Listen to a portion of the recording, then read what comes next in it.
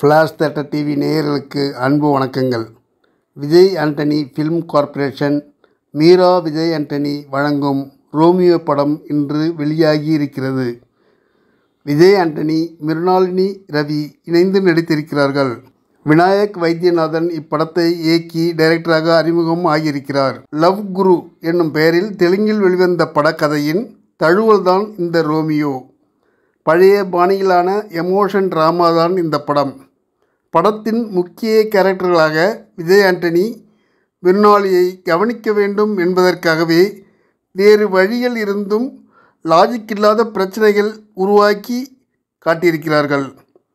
முப்பது வயதை கடந்த விஜய் ஆண்டனி கேரக்டர் தனது இளமையை குடும்பத்திற்காக ஃபைனான்ஸ் பாதுகாப்பை ஏற்படுத்திவிட்டு காதலுக்காக அலைகிறார். அதே வேளையில் சூப்பர் ஹீரோயின் ஆக வேண்டும் என்கிற கனவோடு இருக்கும் மிருணாளினி ரவிக்கு படத்தயாரிப்பாளரின் இச்சையால் அவரால் நடிகையாகவே முடியவில்லை.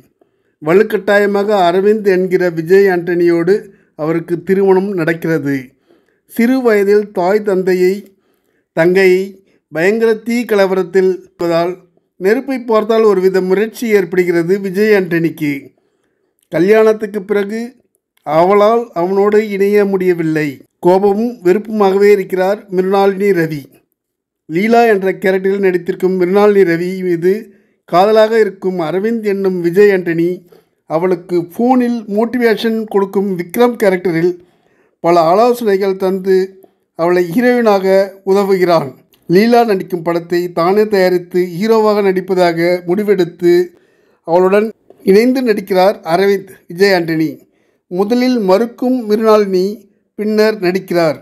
இப்படியே போய்க்கொண்டிருக்கும் அவர்கள் வாழ்க்கையில் அரவிந்தும் விக்ரமும் ஒருவரே என்ற உண்மை தெரிந்ததா? அவர்கள் நடிக்கும் படம் முடிந்ததா?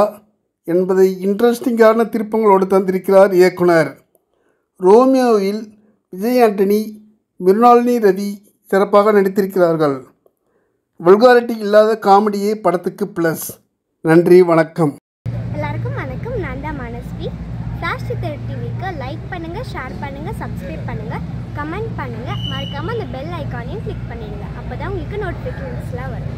Thank you all by by